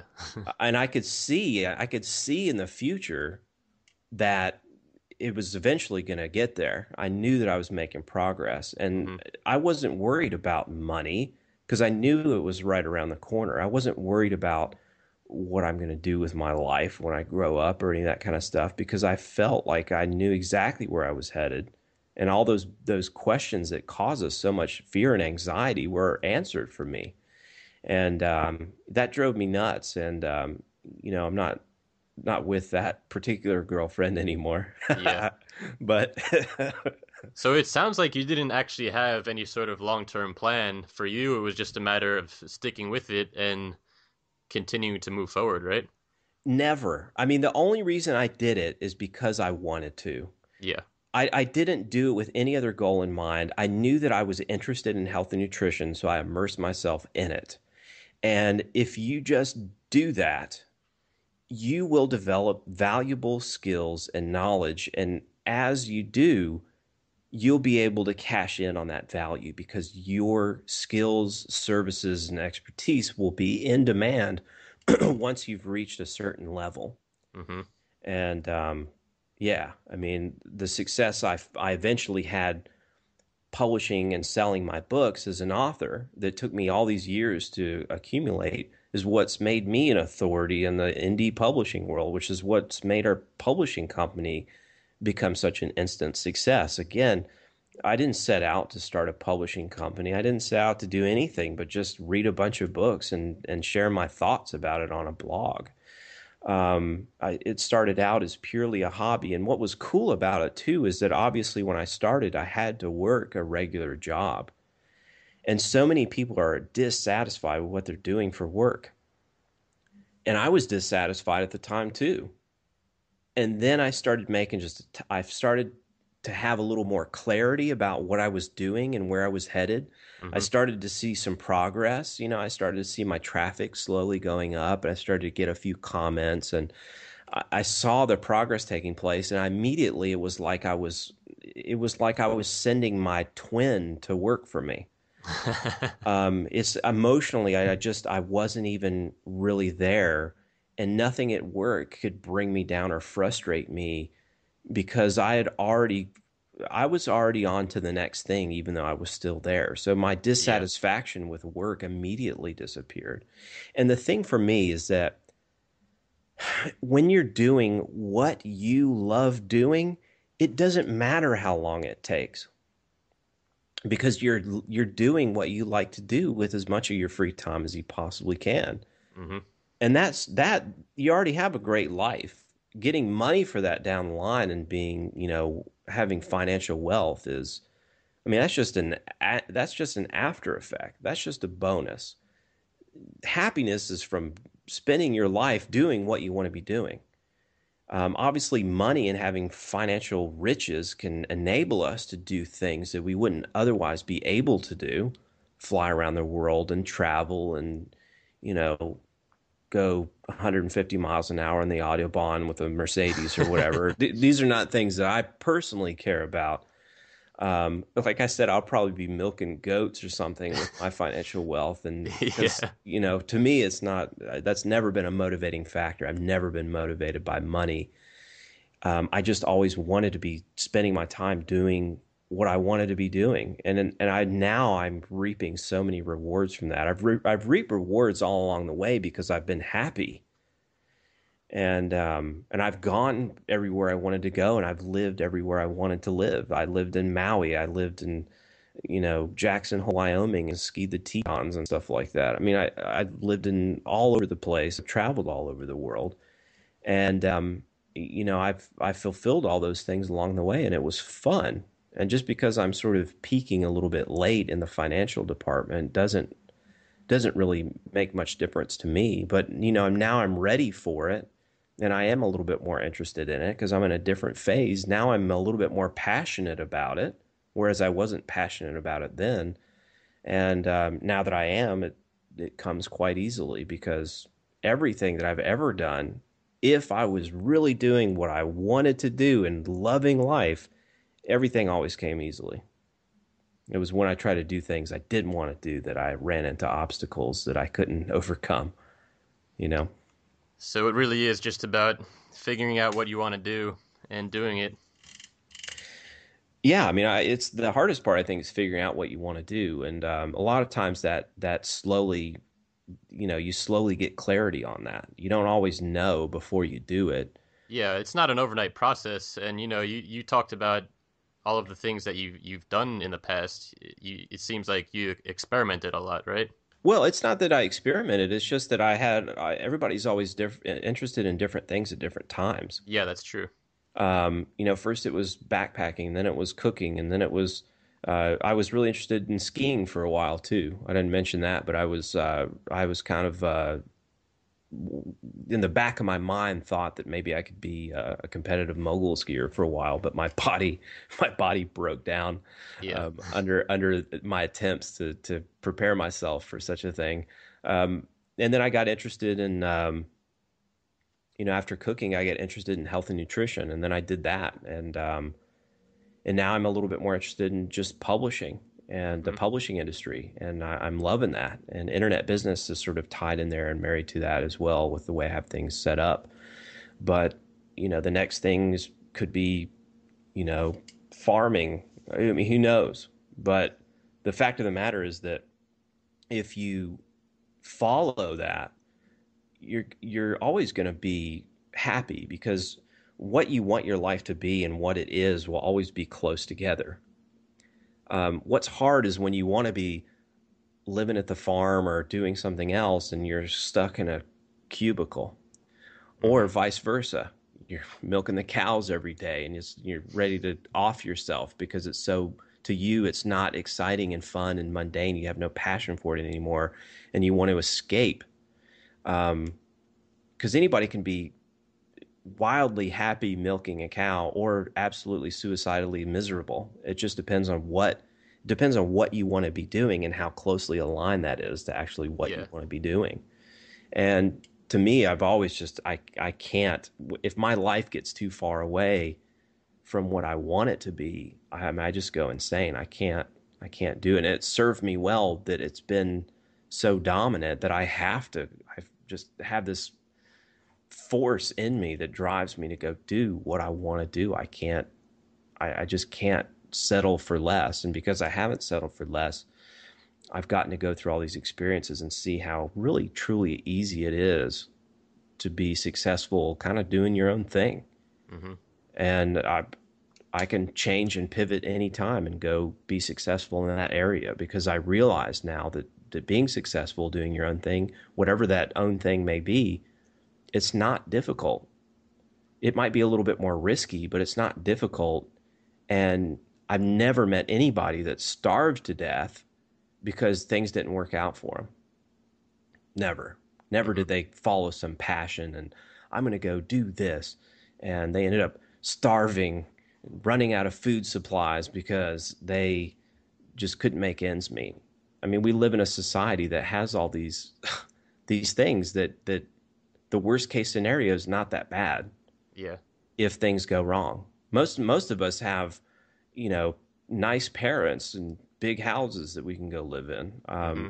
You know, that's like the worst case scenario. And I even did go and live with my mom for a few months when I was doing my 180 degree health thing, and I was just developing that. Yeah. Um, so I don't know. Our safety nets in today's society are so undaunting that you might as well just go for it. Uh, worst case scenario is you declare bankruptcy and you know have to eat canned food or something like that, which is you know just a lot better than the worst case scenario a couple hundred years ago.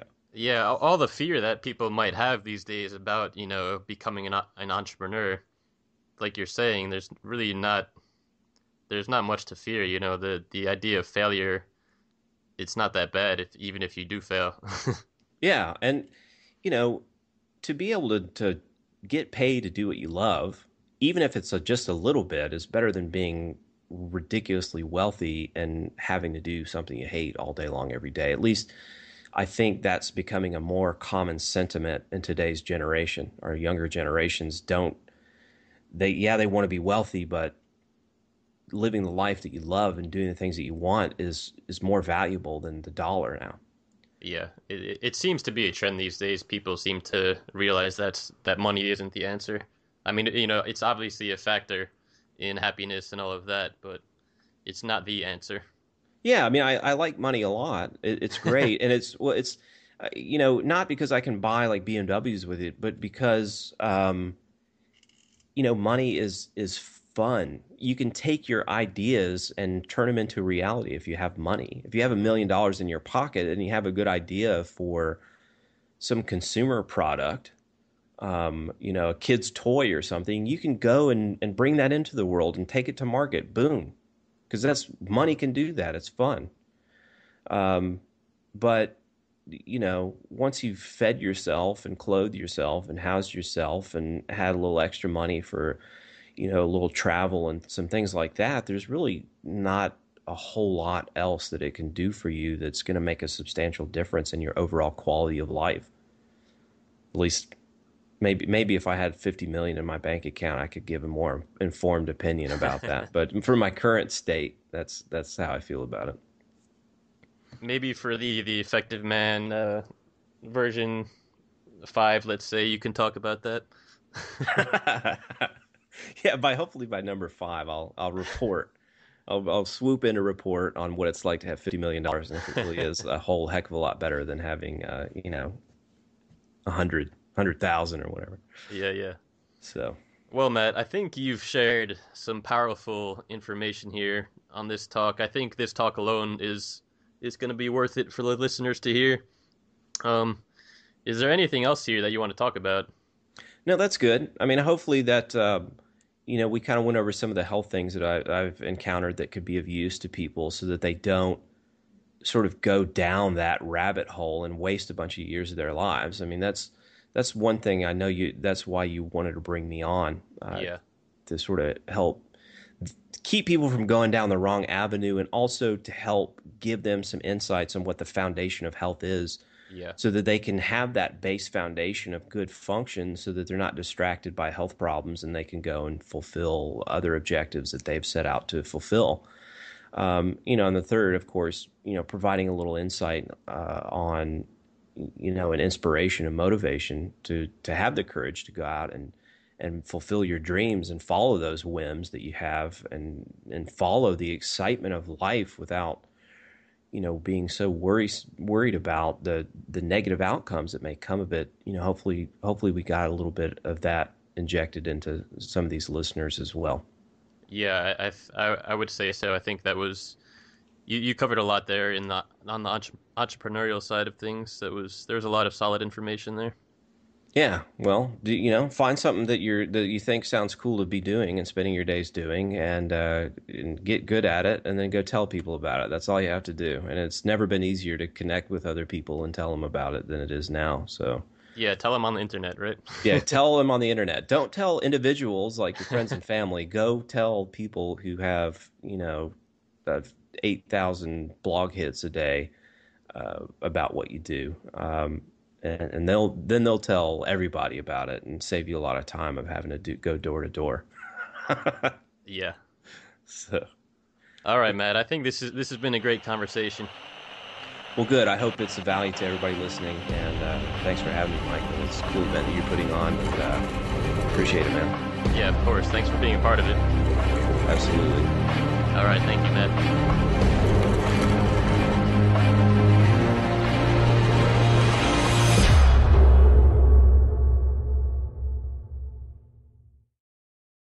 My prior beliefs if I come across a point of view that is superior and more um, evolved in its understanding. And, and that's the process that I've gone through. It's been a process of personal development. And in that process, you know, I've, I've become, uh, my information that I disseminate has become more and more valuable because I have grown past those early stages of thinking naively and, and thinking, you know, really primitively about what we should eat and drink and nutrition in general. And, uh, you know, I don't know, we'll, we'll discuss all that, I'm sure. And, and people will kind of understand, hopefully, what I mean by that. But. Yeah, yeah.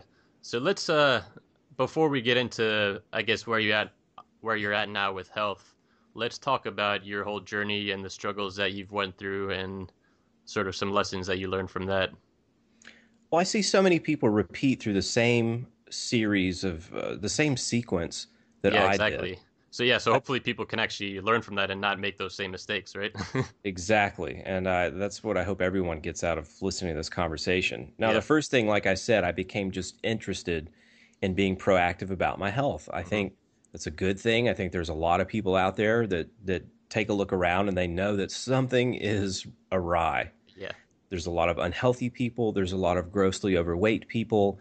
It something about it really seems unhealthy, and we know that there's something about our modern diet yeah. and lifestyle that is not ideal. Mm-hmm. And um, you know, at first, we kind of buy into the everyday logic that people are just eating too much and, and not getting enough exercise, and that's why they don't feel well and they suffer. And um, you know, that's kind of how I thought originally and uh, you know people who were fat were just a bunch of lazy bums and and so I started off in my teens just trying to do more exercise and charting my progress and writing down how many push-ups I did and sit-ups I did and all these kinds of things mm-hmm. into a, a calendar and keeping track of all that.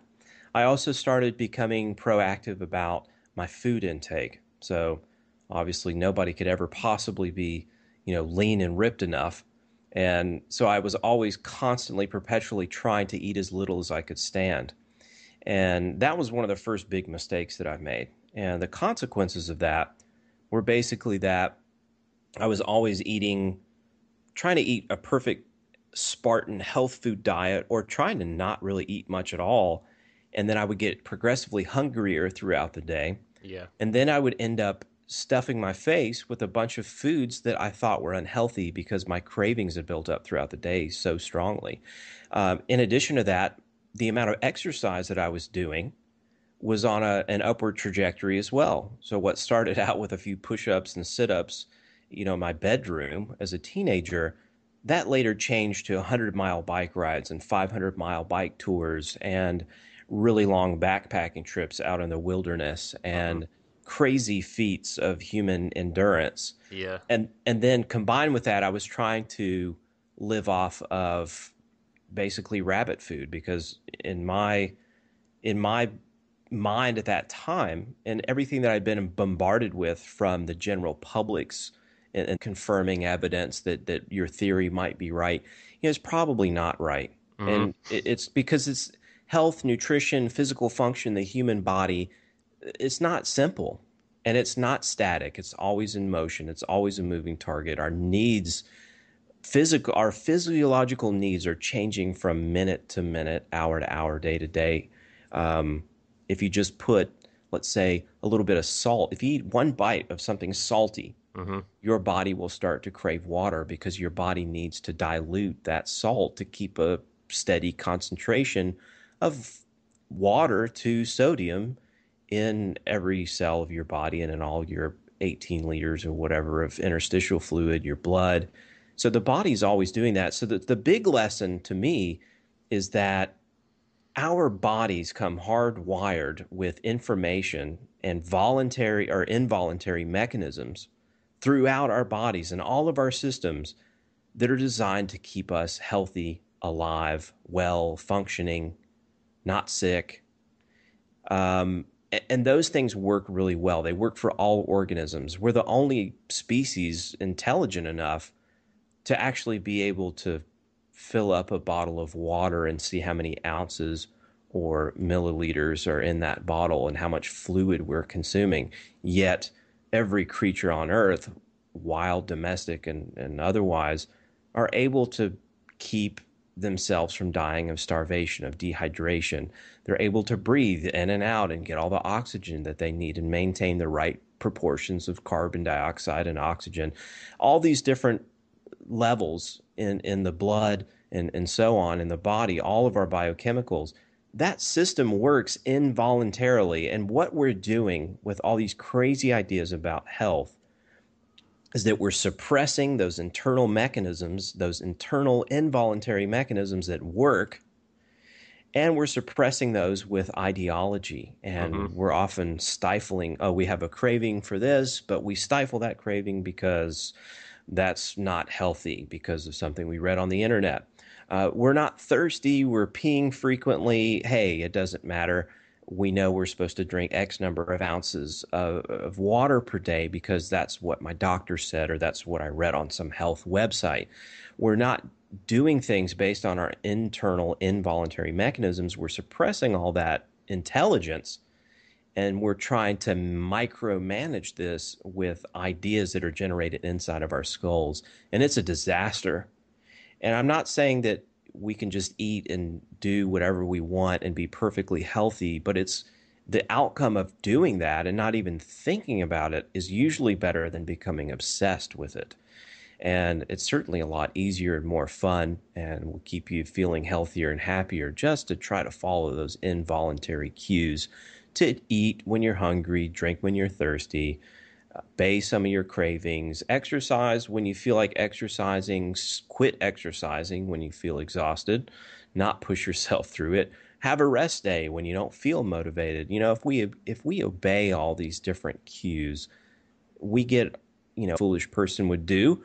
Um, and uh, and and there I was, you know, preaching the gospel of high high uh, high fat, high protein, low carbohydrate eating, and um, and I would say the first six months of that was the best six months I've ever had in my life, and then all of a sudden things started to progressively go downhill, and I was just absolutely enamored and infatuated with how great I had felt in the first six months mm-hmm. that I was stubborn about switching and doing something different. Not only had I invested my, you know, everything in in basically preaching the gospel of this on the internet and writing books and building up a business about this, um, you know, but I was just so enamored with this amazing way that I had felt for six months. I kept just wanting to get back there. And I kept restricting more and more. I got to the point where I was um, eating no carbohydrates at all. That was a mess. And, uh, and then I started doing, um, you know, other things. I did a 30 day milk fast for a while. I mm-hmm. did lots of uh, fasting at various periods uh, along the way where I would eat nothing, you know, have nothing but fruit juice for a week and other crazy things. Yeah. and um, I was just seeking that elusive, good, healthy feeling, and it, it, just kept slipping farther and farther away. And eventually, I had to just kind of say screw it. And then I went through the the screw it phase, which is all this, you know, health food stuff is a bunch of nonsense, and I should just you know, forget all this and go back to eating what I was eating as a teenager when I felt great. And when I did that, I felt amazing. I felt a lot better. All the health problems I had accumulated from being a healthaholic uh, went away. Mm-hmm. And uh, I kind of went, uh, you know, and became a junk fooditarian for a while. And, you know, and then of course I ran into consequences from doing that. And, you know, now the, the final phase is sort of getting back into balance and eating a healthy diet, but not in a fanatical, naive, you know, be- belief that that I'm going to find this perfect diet and become a superhuman kind of way, but just basic self care and also still being functional socially, being able to eat normal food with friends and family, and not be a weirdo, but at the same time, still make sure I'm eating nutritious food, exercising every day, moving my body around, keeping it functional and mobile, et cetera, et cetera. And that's that's kind of the process that I went through. And I see so many people going through that process step by step. And and that's kind of I've become sort of the, the the guy that you go to. I'm the safe haven for recovering healthaholics and dieters and and people that suffer really harsh eating disorders and, and all that. Yeah. So could would you say there are if you could, you know, make some some bullet points here, were there any major lessons that you learned that you think would be useful useful for people to know? Well, the big one is that you know, first of all, if you have an idea um, and you get really excited about it, you find some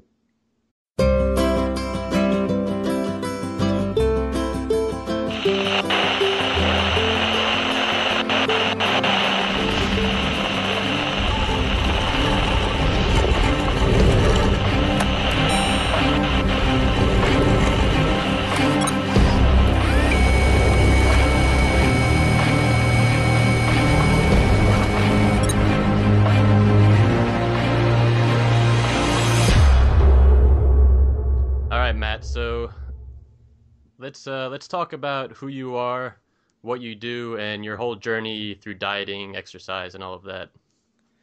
I'm just a man, Michael. I'm just a man. Um, no, I uh, I got really interested in health and nutrition. Uh, it's just kind of always been with me. I remember even as a kid, I was always picking my breakfast cereals based on what had the highest percentages of the RDA on on the spines, and even as like an eight or nine year old, it was ridiculous. So. Yeah.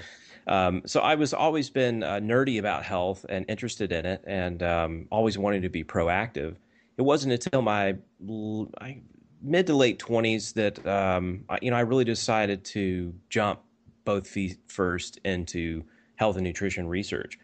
So I, I really jumped in and started uh, just immerse myself in the field and began writing, blogging, communicating with other people about it. I set out to be, you know, what I quote call quote an independent health researcher, and mm-hmm. that's how I got into it. And you know, over doing it for nearly a decade now, I accumulated just a massive amount of useful information and expertise. I definitely stumbled across some things along the way that um, that have been very helpful to thousands of people all over the world, and uh, that's kind of where I'm at today. And I've written a, a, a billion books, too many, I've unpublished almost as many as I have currently for published on really? Amazon. Yeah. So uh, so yeah, I'm just uh, I've been a healthaholic, and uh, I'm kind of a recovering healthaholic at this point, which I'm mm-hmm. sure we'll get into a little bit also. But yeah, but that's that's me in a nutshell. Just a sort of a, a health and nutrition research obsessive, uh, gone author, gone uh, recovering healthaholic. Mm-hmm. That's interesting that you've unpublished books. I feel like that's a rare thing, but it, it says a lot about you know who you are and what you do the fact that you're willing to to change, you know, your ideas and not get attached to anything. That's one thing that's made me unique. I mean, everybody who's followed me knows and has known and recognized instantly from the beginning that I was really looking for answers. I was trying to do my very best to generally just genuinely find the truth and I was willing to explore all different kinds of ideas and avenues to get there. And you know, of course, early on, I had ideas. I thought they were correct. I found research that supported it. And then, you know, later on, I found stuff that contradicted it. And then I started thinking differently. And then I realized that my earlier ways of thinking were more primitive and flawed. Mm-hmm. And so I often changed directions and pivoted and pulled a 180, so to speak, which I've been, had many people all the time go, you should call it, you should change the name to 360 degree health because you're always, you know, you flip the back the other way now. Yeah. So anyway, I've gotten a lot of grief, but yes, of course, uh, along the way, I'm willing to completely throw out in the, in the media's view about health is that we should eat mostly salad and um, whole grains and vegetables and things like that. And no, and, no uh, saturated fat, right? No saturated fat. Yeah. Um, you know, stay away from tasty things and eat mostly this type of low calorie density type of roughage. Mm-hmm.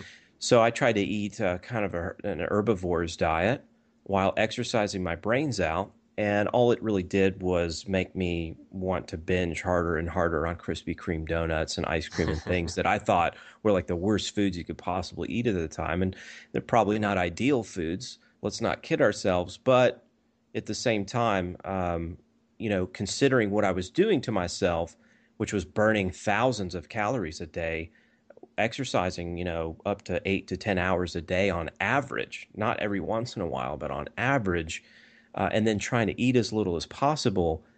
The most important thing, the priority above all else at that time to keep me functioning, just functioning basically, was to get calories.